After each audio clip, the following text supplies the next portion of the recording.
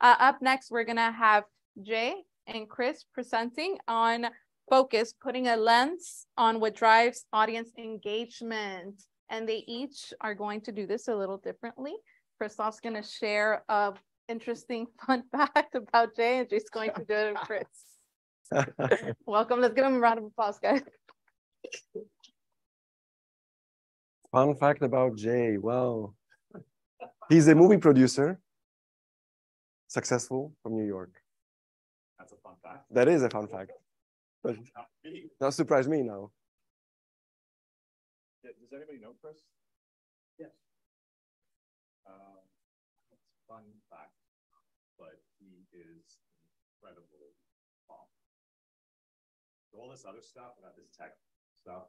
uh, He happens to be an incredible father and partner and family man, and it's, I don't know if that's fun or not, but it's meaning.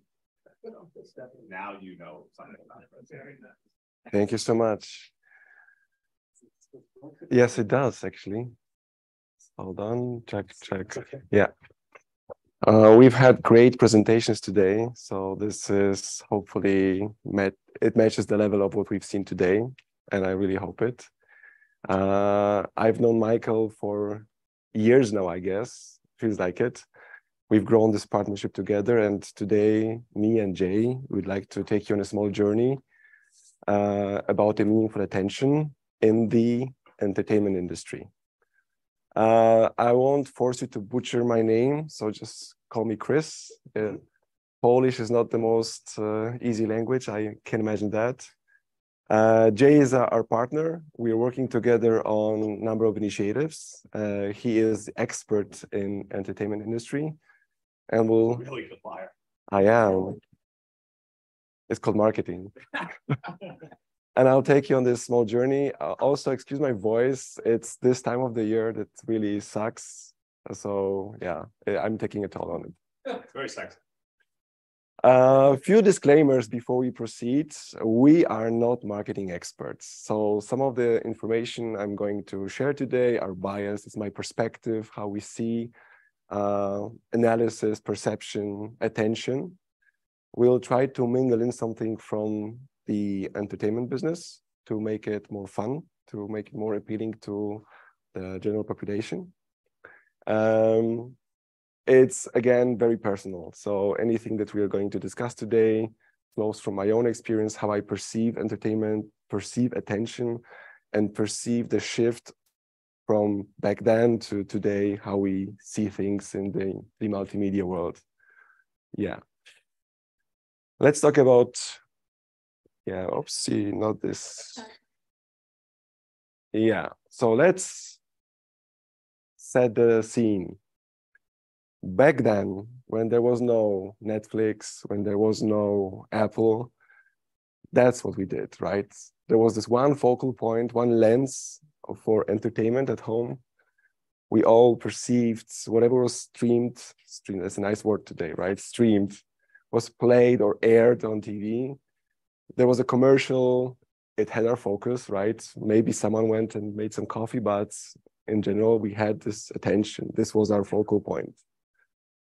So what's changed in the recent years? this happened. No, no, no. It's a free flow. It's a free flow dis uh, discussion. This happened, right? Netflix, Apple came, and now yes, we do have a TV. It's a nice 75 inch flat screen that hangs on my wall. I have Netflix, Amazon Prime, I have Apple, but I also have my iPhone. I also, in the post-COVID era, have my laptop typically at home, and I do some very unhealthy work and watching situation, right? So there is no attention that's focused on one thing. Now we perceive Netflix as a company that is observing what's being streamed. They gather data, which country, which demographic is watching what right now. But are we really, right? is this really what's going on or not? I, my own example, can tell you if I want some chimney action, like, you know, something's running on the TV, I just stream something. I don't care what it is. I want some audio, I want some ambient noises, I can do my work, I can play with my kids, I can do something with my wife. Healthy relationship wise, obviously. But it's, something's going on on the TV and am I watching? Am I paying attention? I don't think so. It's background. It's, it's eliminating your experience, but it has nothing to do with what's on. Exactly. Whatever's on the screen at that time is clearly not resonating. Exactly. So uh, maybe I'm catching something on audio. Maybe I just play something I know. I like things I know, so I play something I know. I've seen movie Matrix 50 times probably. I can talk with the guys who are in the movie. So when I feel like, come on, it's it's the best sci-fi ever made. So if I, that's a whole other. It's a it, it's a it's a philosophical love, love story with a sci-fi twist. Yeah, I've seen it. Yes. Uh, so it means simply I need something in the background. Back then, I used to play my favorite TV channel, Cartoon Network, probably. Now it's just Netflix, Amazon Prime, Apple. So my attention is completely isolated from whatever is being streamed. And the question is, well, am I not entertained? Is, is this simply the new normal, us watching passively? Or maybe something's wrong with the content being streamed. So let's, let's set the scene for today's discussion. I'm creative. I know IT. so let's talk about estimating our uh, gaze, where we, what we look at. Uh, all of us who understand something about marketing research and uh, content consumption research know those devices. Uh, you can either mount a camera on a, a laptop here, this example here, or some uh, fixed point camera under a TV screen, or the scene cameras um, uh, on your glasses. They are mounted to your head. They move with your head. They track your X, Y, and Z axis movement. And they are clunky. They are big. They are artificial. They create environment and perception of something being tested. There's something off here, right? Yes, maybe after 20, 30, 40 minutes, I get used to it, but eventually, well, it's still something that's mounted to my head. Like, Jay, how would you today want to see if the movie that you've made is being watched? Like, would you set this kind of landscape for, for a movie test? So whenever any movie we've ever done, any film, um, we always do a little test group, usually with people that we know. Could be a small group like this, could be a little conference room. And every time we do it, the filmmakers are watching the film. And I'm watching the audience. Because I've already seen the film more times than I care to usually. But I want to know what the audience is getting. Did they laugh when they're supposed to laugh? Or did they laugh when they're supposed to cry? And even when we do premieres in theaters, I'm sitting, they're like, oh, Jay, sit over here. And I was like, no, I want to stand in the back corner and I want to watch everybody.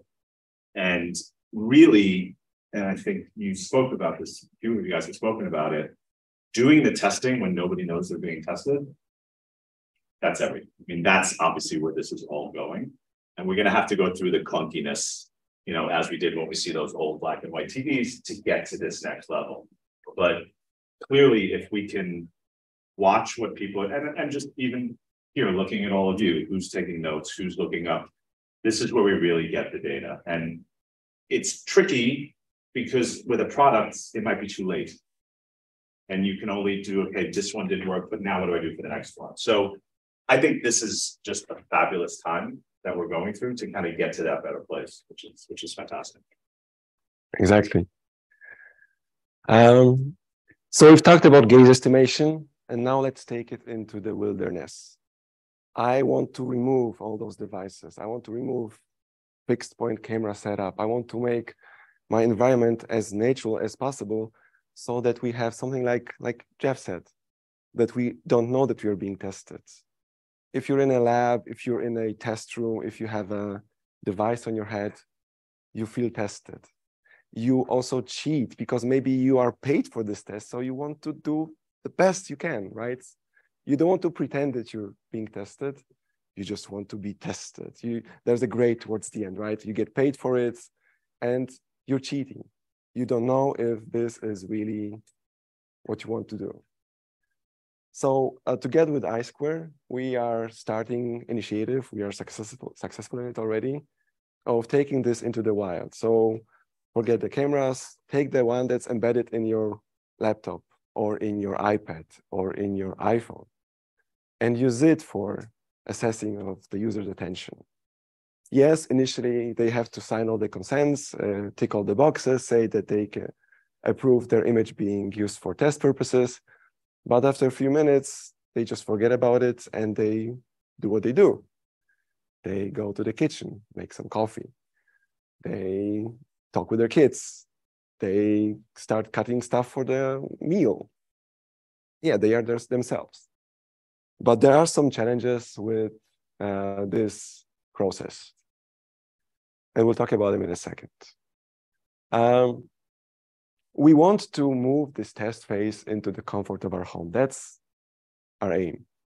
We want to be able to create an environment where an eye square customer, an eye square panelist comfortably sits on the couch, starts an application, starts a process, and is enjoying himself, herself, is just doing what they want to do. And uh, this is then the real test that we're going to, to perform. We also know that lab is always a lab. It's an artificial place. There are people, your attention is focused on yourself. Every move you make is carefully noted and you know this. You, you orchestrate your movement, your behavior towards being perceived positively. We crave being perceived as good pupils, right? That's why we sit here in the front first bench so that everybody knows that these are the, the smartest guys in the room, right? We always get the A grades. We, we want to create and to foster natural test environment. Now, I told you before uh, that tracking playtime is meaningless, right? Because the, the function of TV has shifted from entertainment to a chimney sometimes. I know my wife, she knows every single Friends episode by heart because it's streamed on Comedy Central every single day and it, she plays it uh, simply as her chosen entertainment. She plays with our kids together, she makes sure that homework is done, and in the background we have friends. Always.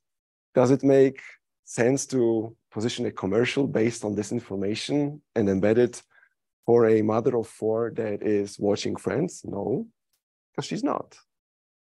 What do you think about it, Jay? You have a lot of friends. I do. um, there's no question about it. And I think this is really all involved. Like we placing the ads or product placement into a movie, for example, which is definitely a revenue stream for producers because it's harder and harder to make a movie and theaters are coming back, but it's still different. But you know, if I hold this like this in the scene that I'm in? Are you paying attention to this or are you paying attention to him because he's better looking? So how do we engage and how do we get that to happen? I think is critical. And we can't find that out from how long they were on the show or the movie or whatever, because it just doesn't give us the data that we need. And being able to see eyes are obviously very important, but movement as well. And to your point of the surveys, it's the same thing with films people used to go to, you know, Warner Brothers and old studios would pack people into a theater, comfortable seats, give them all the free soda and popcorn. And they filled out this little questionnaire. And half the people were asleep during the movie. They're like, yeah, I loved it. Amazing. Oh, yeah, that was the best scene ever, which they didn't see. So now, you know, the studio heads are like, great, let's do this. Whereas this is a bomb and they're about to lose $100 million. So there's no question we have to kind of take this to that better place and making people feel comfortable they're going to give us all the information. Yeah. And that's why we say that going into the wild, into your own home, house, room, bedroom, is where we can track this meaningful attention. that really, what really catches our attention. Am I, am I entertained or not? So where are we today with tracking meaningful attention? It's a tough nut to crack because as opposed to the lab environment where we have fixed mounting points for your camera setup and a fixed uh, point where you're looking at, the tablet is moving. The, the planes, the X, Y, and Z's are in constant movement. I am lying on my back and the iPad is on my belly, or it's next to me, or it's in a stand, or on a desk. The camera that's supposed to catch our eyes is in constant movement. So the point of reference is not fixed. The, the amount of uh, mathematics you need to perform is huge, but let me put this one number in, in, in, into the room. If you know trig and you know your tangents, you can verify me, but if you shift your eyes one degree, your eyesight one degree, that will translate into 1.7 centimeter, slightly above 0.6 inches over a distance of one meter. And a laptop or a mobile screen is smaller. So if I do the calculations incorrectly, I am maybe capturing incorrect information. So to get from the theory, yes, that's very easy. So it's just simply you track the eyes uh, to, to practice. There's a huge amount of information you need to process, huge amount of machine learning you need to process. And this is where we, together with uh, my amazing team at DAC Digital and with Michael's amazing team from eye square, are right now currently working on, on solving. So what we have already, uh, quite a lot, we are able to track eyes to uh, a field, one field. If you divide a, a phone, a phone screen into nine fields, three by three, we can fix our attention and, and calculate attention with high probability to one of those squares, which is already a lot. If you think about ads or product placement in a movie, that already gives you some idea. Uh, am I paying attention to this shampoo or this lovely puppy walking with uh, with uh, with his lady or not? Which is great. So we try to obviously abstract it, create a set of libraries that can be used for a number of reasons, but the common denominator is tracking the eyes and making sure that whatever I'm looking at, I have the meaningful attention. So what could be next? Like yes, it's a nice story to tell on marketing. People will, will, be super happy. I can track the eyes. I can measure attention. I can see what drives the attention. But is it is this it? No, it's not. Think about new kind of interfaces for interacting with games or software. If I can make it more um, exact, more concrete, more detailed, I can have a game where instead of using my hands, I can use my eyes to guide the uh, the figure in the in, in, the play in the game. I can uh, create content. I can use my eyes as interface between the digital and physical world.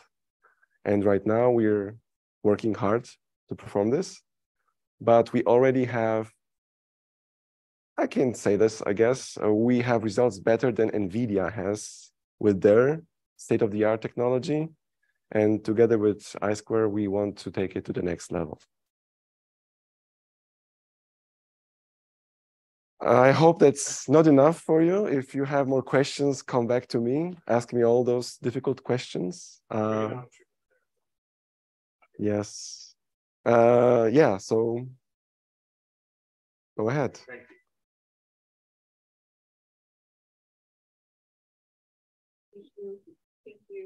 Thank you, Chris. Uh, any questions for them?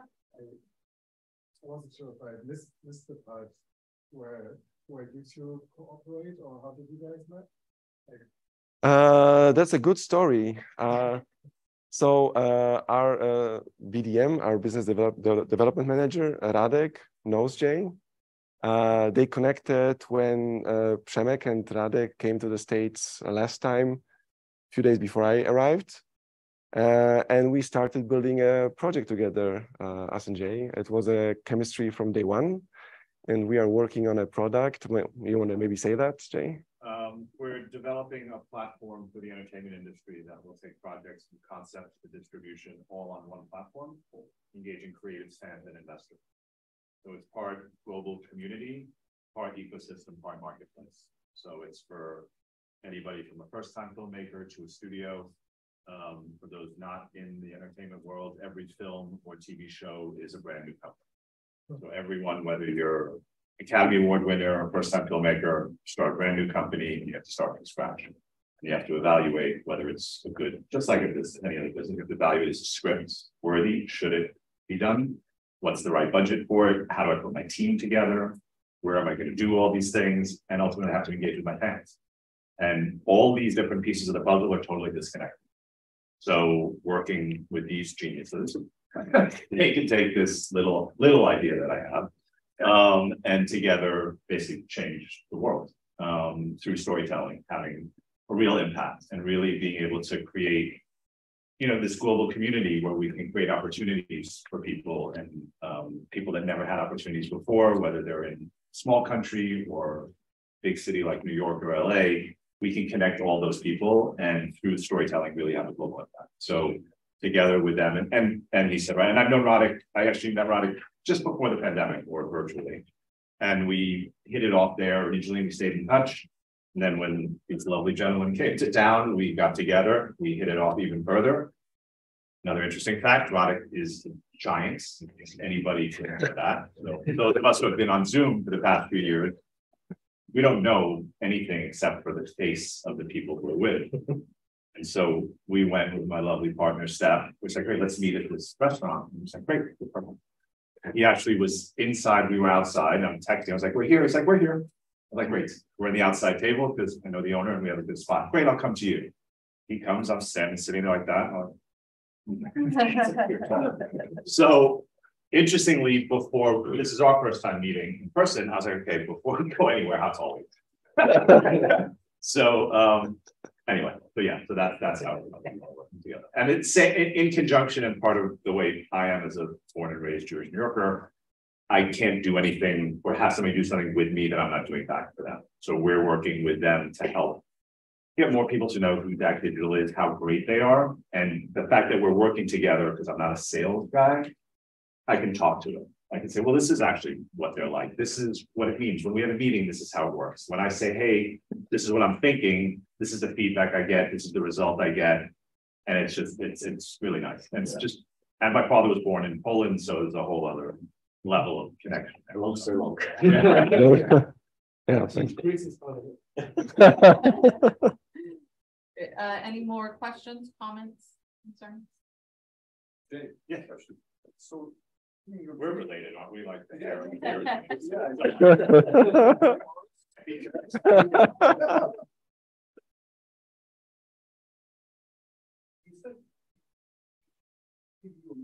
Yeah. Right? And you're looking at the audience. And then let's say you see a kind of uh, reaction that's sort of opposite of what you expect.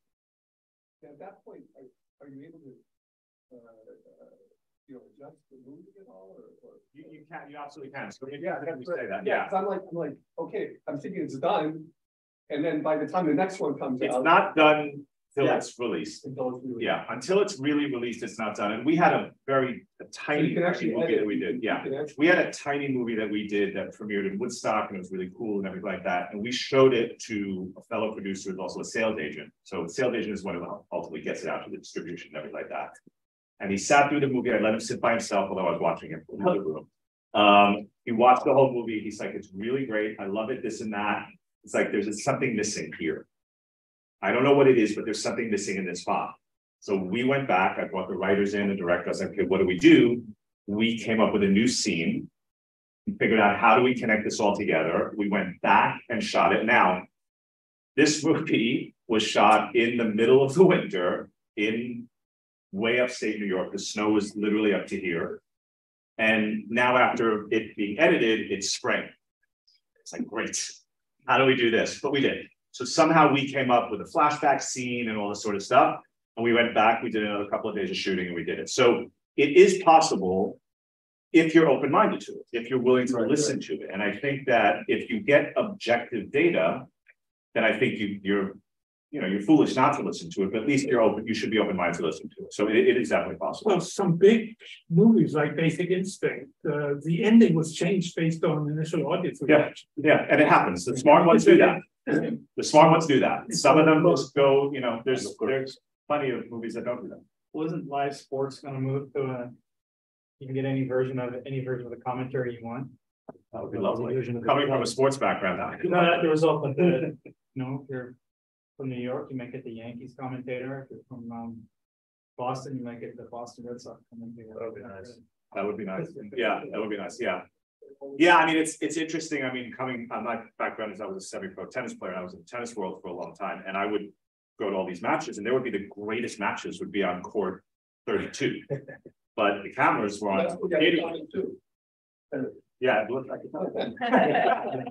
Um, and so I think that's a very interesting point. And, and actually, when you think about that from commentary, the tone is different. Like depending on the commentator on what sport you're watching, you have a totally different feeling about that, that game or match that you watch. A very, Just just think about AI and how easy it is right now, so it, that changed everything, so you can switch scenes, uh, you can switch the voices, yeah, so right now it's. There's, there's That's definitely taught, well, this is where we're getting into this like murky area with creatives, of Yeah. course, that, you know, the writers. Don't want to be in this position where the AI is writing the script and all this sort of stuff is happening. It's, it's, I, I. It's interesting you say that we have a thing that we say in- within our company is that we use technology to make life easier and human interaction to make it better. And I believe that is the future. I'm certainly gonna do my part to make that the future because I think it's great, all the technology that we have. But I kind of like this. And it's cool and it's fun and I pick up energy from everybody and I think we have to find that balance. But I think there, there's a lot of talk about that. I mean, there have been, what was Clue, I think, did that, that they showed there's, there are four different endings. And depending on what you did in the movie, it would show you one ending or the other end. So I think that's kind of cool. Like, I think, let's, let's push the limits. Let's do interesting things like that. I mean, I think it'd be fun. You go to a lot of the old school creative agencies, they just don't want to have anything to do with the data, they don't want to hear it. Um, Yeah, it's true. It's really good. But I just like a comment of that, the quality data, um. You know, we- we have a similar issues, um. You know, getting, getting visual. Computer vision data is, is tough because it freaks people out, Yes. um, it can, that doesn't freak them out, but. Actually, in Europe, it does. The GDPR, uh, the data privacy regulations. But if, but if you can build, if you can build consumer services where there's actual inherent value, that's, it's an important thing to, to crack. And we've experimented a little bit with it, but that's a, a big thing, because research families by definition are, you know, we're people, um, or unnatural to some extent. Um, so the more you can embed technologies like yours and ours where it provides an inherent consumer value, Mhm. the, the better the data, and that's something that's not cracked yet. I mean, as humans, we're willing to give up a lot for a better life in some way or another. We've given up certain things that our grandparents would say, we're never giving that up, but we do, but then we get a benefit from it. So I think if it's not really invasive and we can see it, like it's not, oh, Big Brother's coming in to take over all, that's, we don't want that in general. But I think if we can show there's value from for your life for the betterment of society, I think people are open to that. I like to always. Any other questions or comments? Thanks for saying, by the way. Yes, thank you. Well, thank you guys for Thanks everything. so It was very interesting uh to see the audience engagement. Thank you. I like seeing where we were to where we are now to where we're going with the eye tracking, using eye tracking for video games. So very interesting to see where we're going. Uh, again, thank you all for staying, for being with us here today. To conclude, I'd like to welcome our wrestler back on stage with the speech on gratitude. Michael asked me to Yeah, share this- something. this- uh, with me. Yeah, because us. Cool. And, Oh, okay. Um, Yeah, you-